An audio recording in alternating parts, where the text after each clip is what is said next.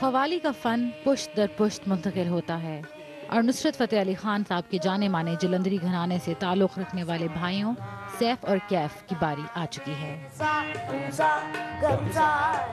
بولنا سیکھتے ہی انہوں نے اپنے باپ دادا سے قوالی کے سروں اور سازوں کی تربیت لی۔ آج وہ صوفی درویش بابا فرید گنج کے دربار کی محفل میں اپنا لوہا منوانے جا رہے ہیں۔ جب میں کراچی سے آیا تو دادا ابو کی کو سنتا تھا قوالیاں اور بڑے پاپا کی بھی سنتا ہوں وہ اس لیے ان کا اللہ محمد کا نام لیتے ہیں میرے دل کا اثر پڑتا تو میں نے بھی شروع کر دی میں میرا بھی نام ہو اور میں بابا صاحب کی پہلی حاضری دے رہے تو میں کہا تو وہ اچھی جائے گی ماشاء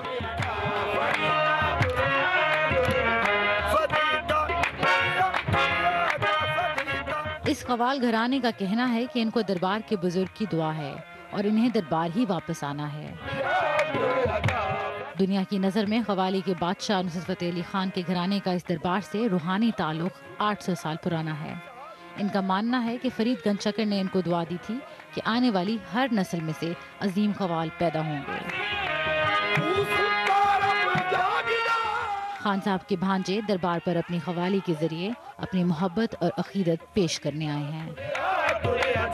ہماری تو یہ درسگاہ بھی یہی ہے اور ہمارا انسٹیٹیوٹ بھی یہی ہے اور ہم وہ کہتے ہیں نا، وہ قوالی کی اپروول جو نئی قوالی بناتے ہیں، وہ سنانے کے لیے پہلے پہلی قوالی حضور بابا صاحب کو پیش کرتے ہیں، ان کو سناتے ہیں اور ان سے اپروول لیتے ہیں۔ اور یہاں پہ پاکستان سے کیا پوری دنیا سے جہاں کے بھی قوال ہیں، ان کی خواہش ہوتی کہ حضور بابا صاحب کی درگاہ پہ حاضری دے سکیں۔ کہا جاتا ہے کہ قوالی کی بنیاد بزرگان دین نے یہیں سے رکھی تھی اور یہی وجہ ہے کہ تمام بڑے قوال گھرانوں کا تعلق پاک پتن سے ہے۔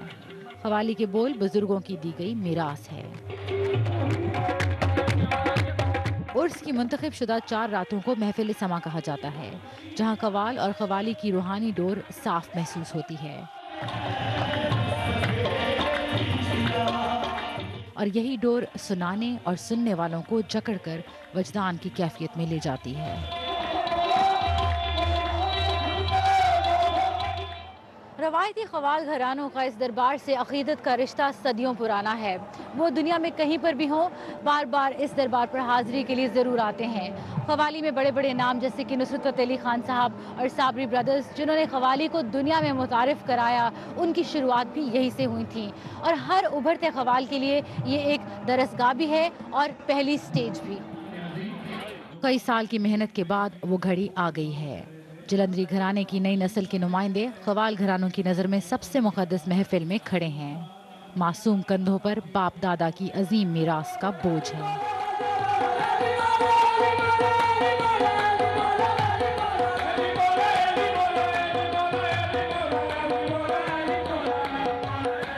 جیسے صدیوں کی قدیم روایت رہی ہے، بابا فرید گنج کا دربار کیف اور سیف کے ان اہم لمحات کا گواہ ہے۔ اور ہمیشہ کی طرح یہیں سے دو نئے قوال اپنے سفر کا آغاز کر چکے ہیں۔ Saba Aitzaz B B C news, Pakpattan